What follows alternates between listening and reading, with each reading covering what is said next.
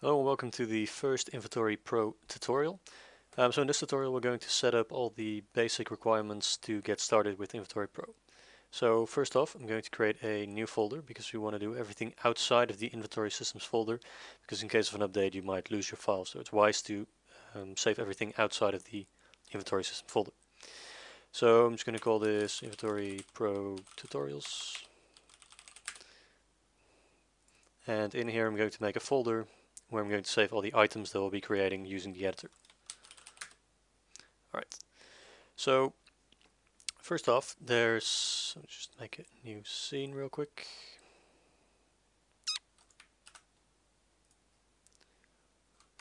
And also save that in there.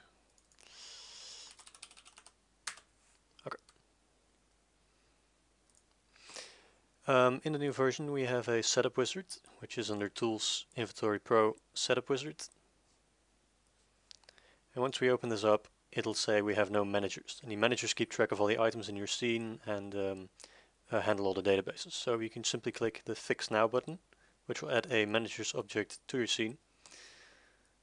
Just close this for now. Okay. So the next problem is that we don't have a language database and we don't have an item database. And the language and item database simply hold the information as it says. So the language database holds all of the language specific data and the item database holds all of the items. So we create one here. So create inventory pro and we create a new item database. And we can also create a new language database. Next, we need to assign those databases to our current scene. So as you can see here, we have the red um, field for the language database. So we can just drag that one in. And in the item manager, we also need to drag in the item database. Okay, just got that. Let's click rescan. Okay, so we don't have a player, we haven't filled out some fields, but these aren't very important right now. So let's just um, continue with the actual uh, setup. So the main editor. Um, the first time you start the main editor you'll get an, a warning or an error that it doesn't have a location where you want to save the path or where you want to save the items. So all of your items that you create inside of Inventory Pro will be saved as prefabs so you can actually uh, change the models and add custom components and such. Um, and Inventory Pro needs to know where you want to save those items. So if you click set path we can choose a folder. It has to be inside of the assets folder uh, can't be outside of it. So I'll just use the previously created items folder. And as soon as we do that, it's uh, is done. Now we get the um, the overview where we can select the database we would like to edit using the editor. The green one that's highlighted here is always the one from your current scene. So in most cases, you'll likely want to use the green one. All right. So we don't have any items yet, but uh, let's just go through all the editors so you can see what they do. So we have categories and each category or an item can get categories and each category can have a specific cooldown. So assume you would make a new category here for food. You could give this a cooldown of 10 seconds. So all of the items that share the food category will get a 10 second cooldown once they're used. And you can obviously mix and match. Uh, we have properties which allow you to add specific data to items and you can give them a custom name, for example, strength uh, the way you want to show it. This will help you define how the value is shown. So for example, as you can see here, we have 0, which is the current value.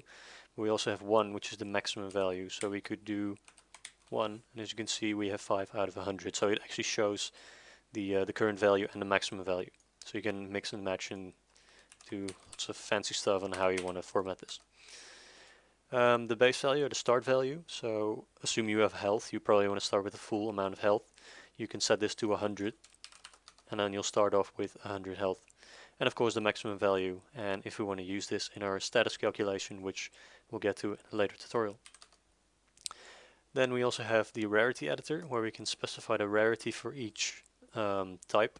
And that's something like um, normal which is usually color white and then we have rare which is usually blue and you can create all of these here. Uh, make sure they're in the right order though, so from uh, low to high. Um, and each rarity can have its own dropping object. So in many games you drop a pouch or a, uh, treasure chest instead of the actual item, the actual model. So you can specify an object here which you like to drop instead of the actual item. So you can drop a pouch or a, or a treasure. And we also have the currency editor. Inside of a currency editor we can define um, any type of currency we like. So we can for example choose gold. Um, description is not necessary. You can choose an icon we wish to use. So for example gold.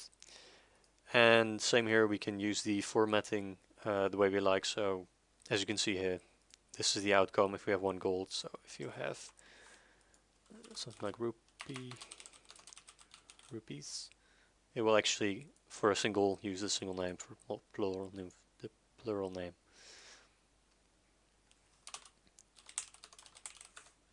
Alright, we can also convert currencies between different currencies. So for example, if I make another currency for silver, grab an icon for that. We can now add a conversion here, so we can say we want to be able to convert gold to 100 silver. And the auto conversion, sorry, the auto conversion allows us to convert um, the currencies automatically when they're needed. So for example, if I have uh, one gold and zero silver, and let me just show that like this. I have one gold and zero silver and I want to buy an item that costs 10 silver but I don't actually have 10 silver but I do have one gold. One gold is worth 100 silver so we can actually convert this to zero gold with 10, uh, 90 silver assuming you want to remove 10 silver. So that's what we can set up here. So um, if we disable the fractions uh, to not allow fractions. So if we have gold, we don't want to be able to have 1.1 uh, gold. So instead we'll disable the fractions and all the fractions we want to convert to a lower value. So for example, silver. So if we get 0.1, so 1.1 gold, the 0.1 is worth 10 silver in total. So we can actually convert that down to silver and we can do that here by converting the fractions. Um, silver, we can also convert the maximum amount. So for example, once we hit 100 silver, we want to convert this to gold. So we can say it here, one silver is worth 0.01 gold, and we want to use the auto conversions. Okay, and we can add another one, for example, uh, copper.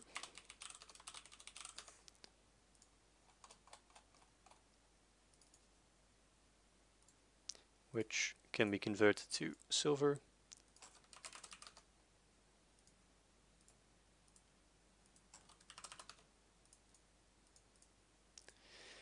Okay, and the silver can actually be converted down to copper as well, which is worth 100 copper. This one as well.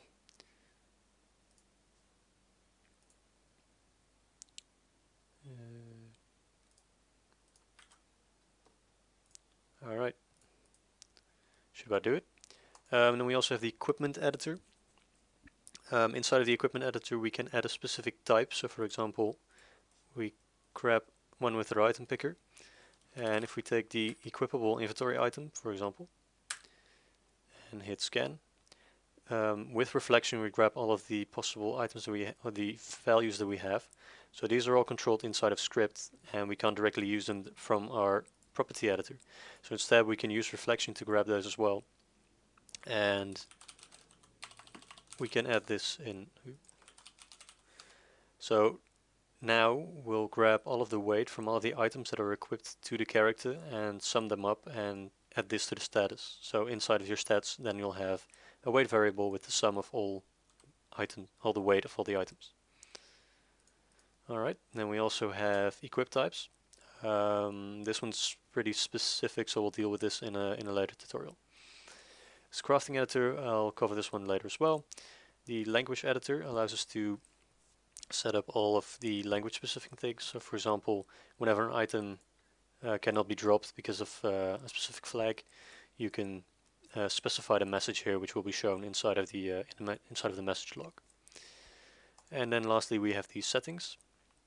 So a couple of things we have to do inside of our settings is configure the button prefab, and the button prefab is the um, slot or object that will be used inside of the inventory. Um, we can select that here. So if you just and if you search for UI underscore item underscore prefab, um, see it's the second one for me. The one from the demo assets UI UI underscore prefabs folder um, is the object that we want to use. Um, it's it's a predefined one. You can obviously define your own, uh, but for the sake of this tutorial, let's just use the existing one. Alright, next we need the UI root, so we'll actually have to create one. So I'm just going to create a new canvas, which also creates the um, event system, which is quite important. Alright, so let's assign the canvas in our settings. And that's all we have to configure here. So next let's set up the inventory the inventory window and uh, fill the inventory window with some slots. So inside of our canvas I'm just going to create a new panel and pin this to the right side.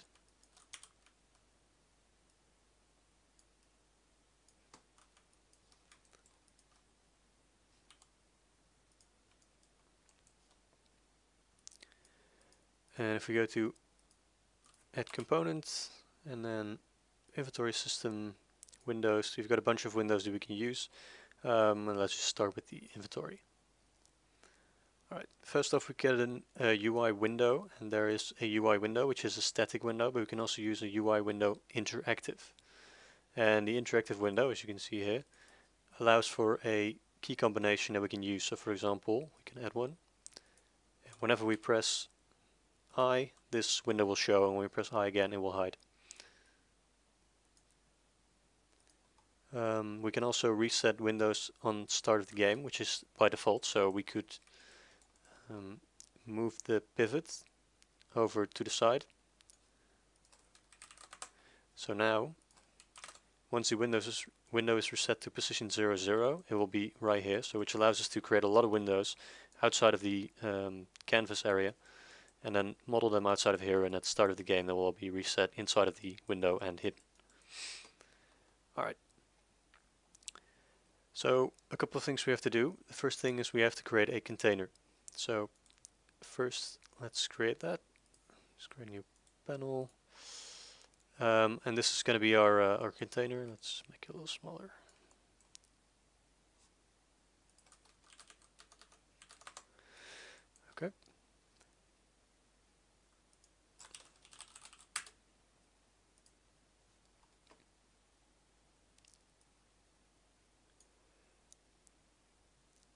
And one thing we actually have to do, uh, which I almost forgot, is define the collection name. So each collection has to have a specific name, uh, a unique name, which is used for uh, saving and loading. So be sure to give it a, a unique name. So let's just call this one inventory. Um, here we can define the item button prefab, which is as we defined in our settings. Here we define the item button prefab, which is global for all of the items. So if we leave this blank, we'll just grab the one from the settings. Uh, if you want to override it, you can actually specify it here. So we can leave it blanks just uh, just fine. We have manually defined collection, which allows us to grab the uh, slots inside of it. Um, if we disable it, it will actually generate those for us, which is what we want right now. Um, sorting button, let's just leave that blank for now. Extended collection as well. The scrolling rect allows us to um, uh, reset the scroll rect after you increase the size, so it uh, it's only a visual thing. Um, a shared collection allows you to share it between multiple characters. So assume you have five characters in your scene and you make a shared collection, that inventory will actually um, belong to all those players instead of one specific player. And you can also define priorities. Uh, the higher the priority, the sooner the item will be stored in here. So the more priority um, this specific collection will get whenever placing a new item. Right, we have also have uh, initial collection size, which is the size of slots that we want to generate um, whenever we start the uh, whenever we start the game. Um, these are override methods, so whenever we use an item, which is either by right-clicking or or by using it from a skill bar, or doesn't really matter how. Um, whenever we use it, we actually want to move it to the bank. So if the bank is open, the bank window, and we use something from this collection, it will actually move to the bank instead of actually being used and we can do the same for selling. Alright, these are just audio clips whenever did you want to play whenever a specific action occurs, but let's just leave this blank. We also have restrictions, so um, Inventory Pro is not restricted to a single inventory, so assume you want to make a second inventory, like so, and give this one a higher priority, so all items will be stored in here first, but I can also give it filters, so I can say I only want to store items of type uh, consumable inside of this window, so now we can only store consumable items inside of uh, this specific window, and all the other items will be stored in the right one. But uh, let's just continue with this one for now. Um, and at the bottom, which is quite important, we actually have a couple of restrictions. So um, you can restrict a collection or an inventory by weight. So assume you hit a total weight amount of 100, you can no longer store any items inside of it. And we also have these restrictions here below. So if we can drop items from this collection, so in this case we do, uh, the collections are these settings are on all collections, so they're also on the bank, etc. So you also always want to check these when you configure a new collection. So if we can use an item from this collection, so this is our inventory, obviously we can. And if we can use an item from a reference, which means that if we have a reference like the skill bar, and we use an item from the skill bar, um, is it allowed to refer to this inventory? So for example, if you have an item in your skill bar, um, which refers to an object in the bank. You obviously don't want to actually use it because you could use items that are uh, in your bank while you're not using your bank. Alright, so we got that all set up and actually I think this is enough to make it work, so let's just uh, try that.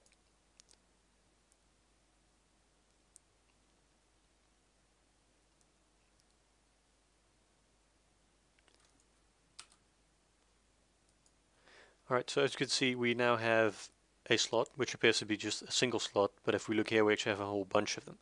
So we actually want to um, show these properly inside of the entire window and we can use the we can do that using one of Unity's uh, groups. Let's see here layout and we can use various groups we like but in this case uh, a grid group where is it there would make the most sense so we can create cells of 40 by 40 inside of this window and it'll format all of those uh, slots for us.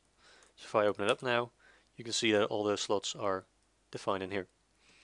Uh, one last thing we can actually do is add a draggable window onto this. So if we just search for draggable window, we can add it and it's got a couple of settings that we can use so we can prevent it from going out of bounds. So if you try to drag it outside of the screen, it will actually stop the player from doing so, from losing windows. Um, you can bring windows to the foreground or the background, um, and the maximum foreground index, which is actually the uh, index inside of the hierarchy. Alright, so got it now, click I, and we can drag it around.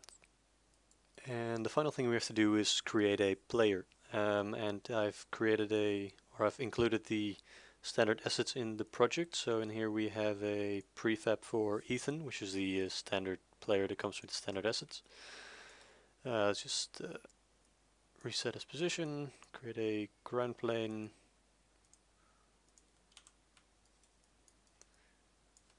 Alright.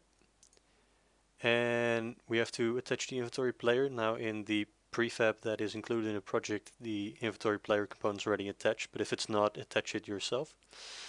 Um, and in here, all the references are set to the player's um, collections. So in this case, we have a reference to the inventory we just created because the inventory belongs to this specific player. So you can actually have multiple players with uh, each their own inventory. Um, and once we create a skill bar, once we create a character collection, we'll be uh, defining them here as well. Alright, that's it for this uh, tutorial, and hopefully you'll see you in the next one.